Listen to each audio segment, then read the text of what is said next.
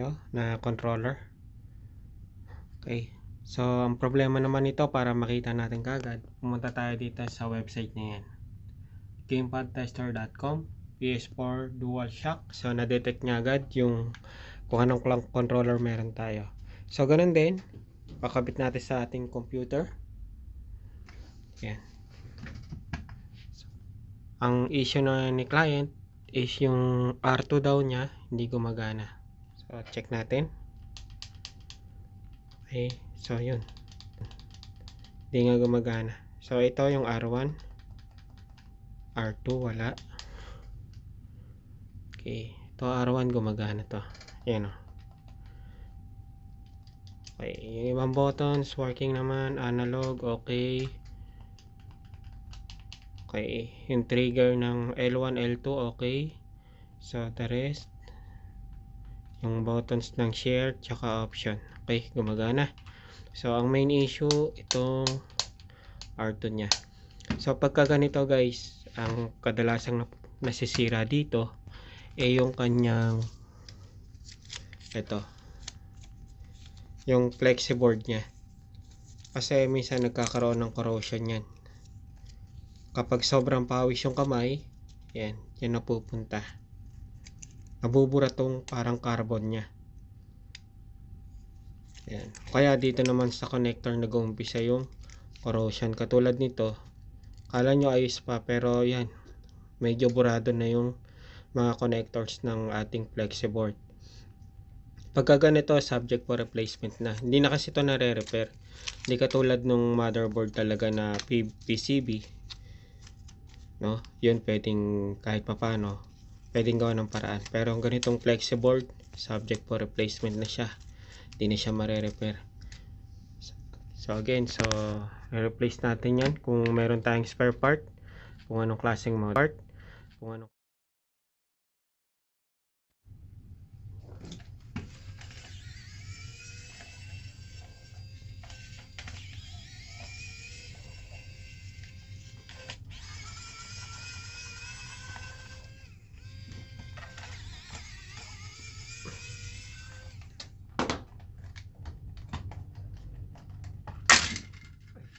Yun, isahang baklasa na. Yan to. Ito yung pinaka-reset niya. Dito yan.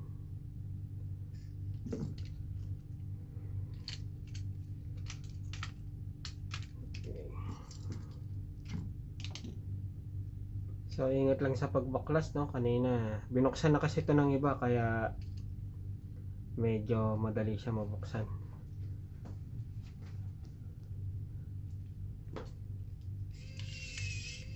Isang screw lang naman dito yan.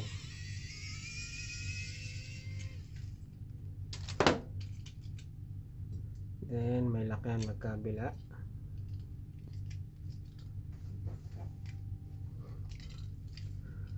Tapos itong ribbon cable niya yung para sa pad natin. Ito reset button. Sampu na. Yan.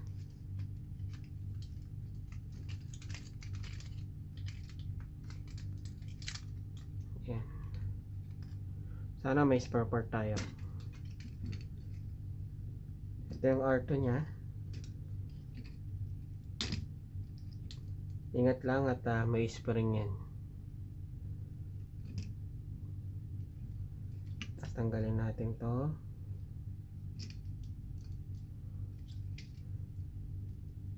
Yan. Sa pagkatanggal dito, click yan yan. Iba-iba yung lock ng controller guys. Depende sa manufacturer.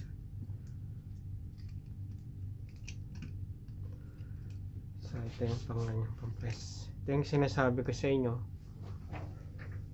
Yan. Kung wala dyan, pwedeng nandito yung issue. Yung nabubura na. Yan o. Yung carbon niya medyo may mga bura-burado na. Inspectionin natin. Kasi kahit linisan mo siya, kung may connector na siya na napatid dun, hindi natin na nakikita. kahit anong linis mo dyan same issue pa rin yan so palitan na natin ang liliit ng mga connectors nyan eh so replace natin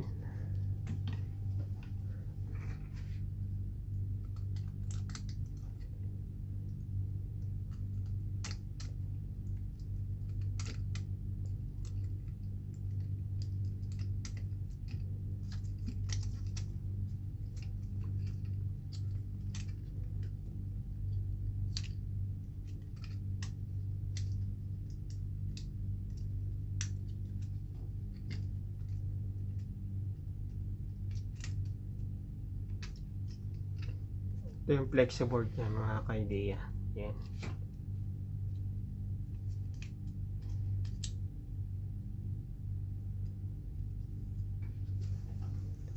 Kung na-inspection nyo at sa tingin nyo walang tama at pinalitan natin ng bago same behavior pa rin. So ibig sabihin ang problema nandito sa kanyang board. So pagka ganun pwedeng yung mga IC na to yung control board nya yan nagkaka-issue. So mahirap i-predict.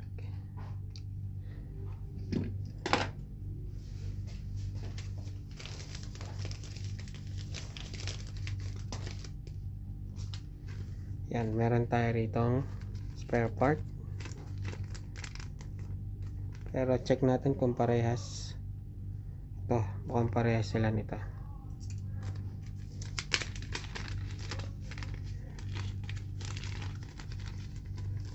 yan. Okay parehas na parehas. Tingnan nyo yung bago. Ito yung luma. Yan ang luma. Ito naman yung bago. Tingnan nyo. Ito kasi parang nabubura na. Ito tingnan nyo yung bago. Diba? Kahit hindi siya nagagalaw pero pag nagcarbon na siya pag nilinis nyo yan guys ng alcohol sibak yan tanggal lahat yan. Ganun ka sensitive yung ating uh, flexiboard ng controller kaya pag nilis mo ng alcohol yan baklas lahat to connectors na yan. Ito naman kahit linisin mo ng alcohol okay lang.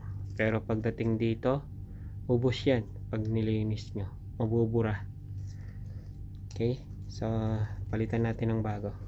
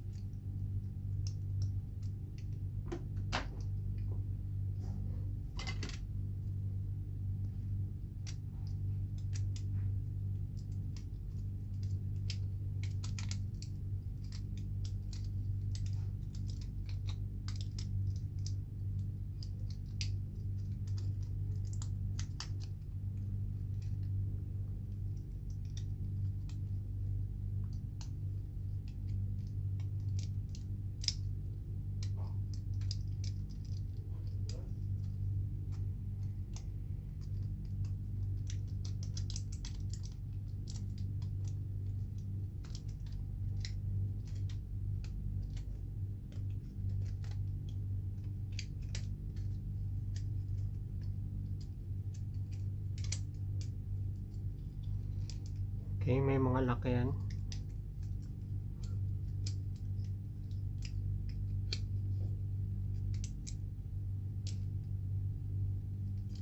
iwasan lang natin na mapilas.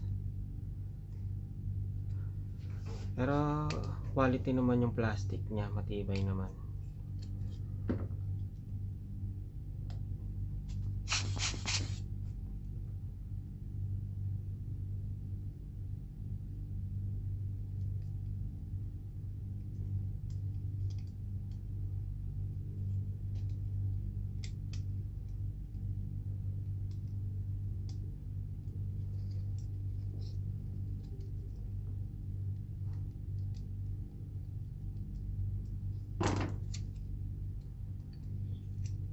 okay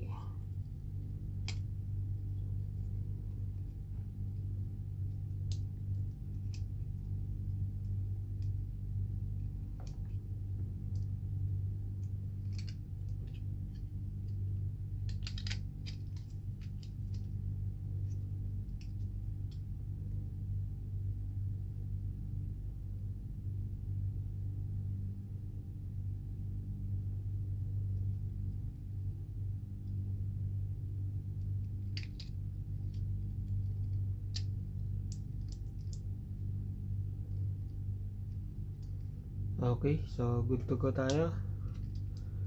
Good to go, good to go.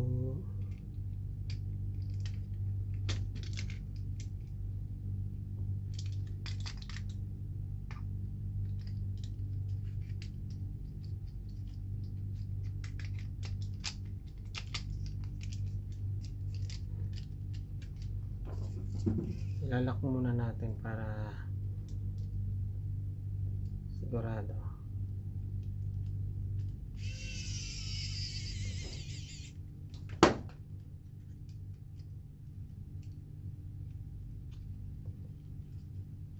Okay.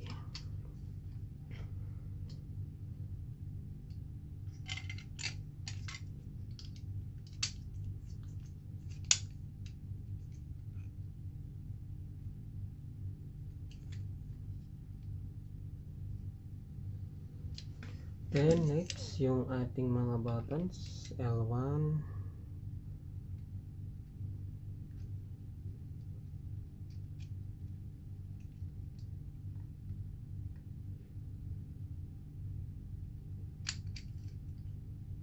Ay, sorry.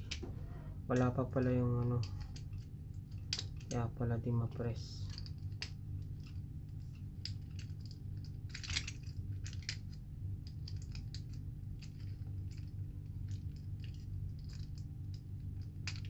No, no, no, no, no, no. Labas ko muna, labas, labas, labas. Okay.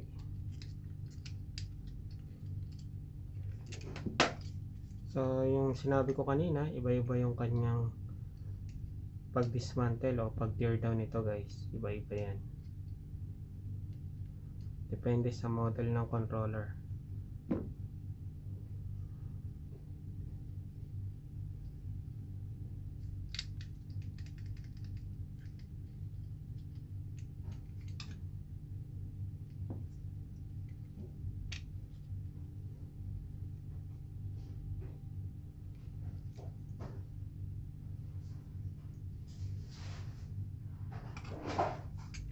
So, yung pagkakabit ng spring, ayan. ang way niyan, to kung saan yung may lagayan, doon yung ilalagay yung spring.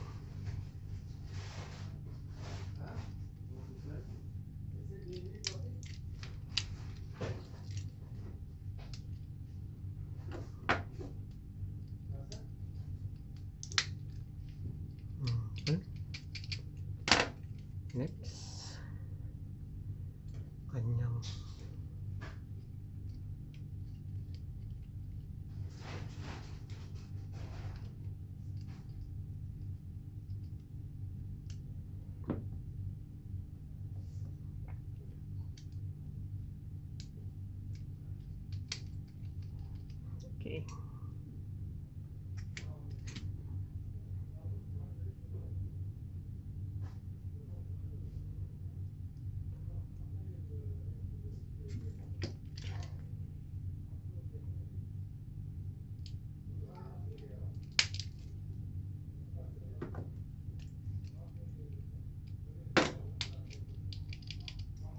Alright.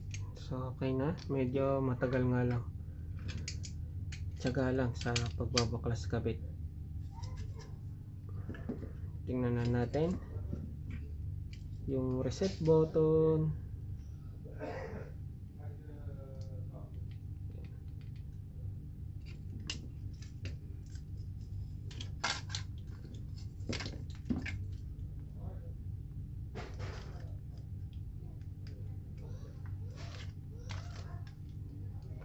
Okay, dito, huwag kayong malilito dyan kasi makikita nyo naman kung nasaan yung kabitan talaga. Kung meron mga yung wire niya na makinis na may mga ah, connectors. So dito sa baba, makikita nyo rin naman yung parang pinaka-connectors niya. Doon siya itatapat. Minsan kasi nagkakabaliktad. Pero pag ganun, edi baliktarin nyo lang naman.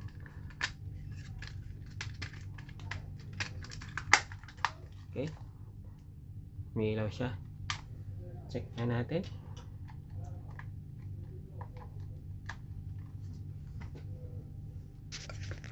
Okay.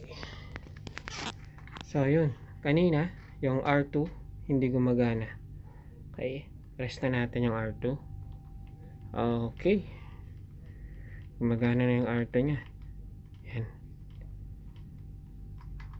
R1, L1, R2, L2. Okay. Up, down, left, right. Then yung mga buttons. Okay. Then yung trigger niya. Option 3 or option buttons. Analog. Okay guys, successful. So yun, kakabit ko na lang yung screw niyan. Then pwede na ibigay sa client. So yung kung tatanong nyo kung sa kayo bibili nito, i-make sure nyo muna kung kaparehas ng model ng PlayStation nyo. Iba-iba kasi yung model nito guys. Kaya ingat lang kung bibili kayo at gagawa kayo ng sa inyo. Tingnan nyo maigi yung model sa Shopee no or sa Lazada kung meron sila.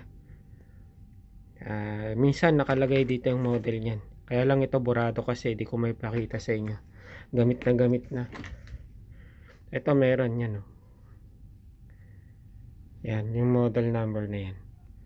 So yun. Ah, bili nila kayo pagka yung buttons nagka-problema. Kahit nilinis yung ganun pa rin. So palitan na ng flexiboard yan. Okay guys, maraming ah, salamat mga kaidiya. Hanggang sa muli, please and like and subscribe na lang sa mga ating subscribers dyan na hindi pa totally na nakasubscribe. Please subscribe, support our channel para tuloy-tuloy po yung pag-share natin. Okay, maraming salamat mga kaidiya.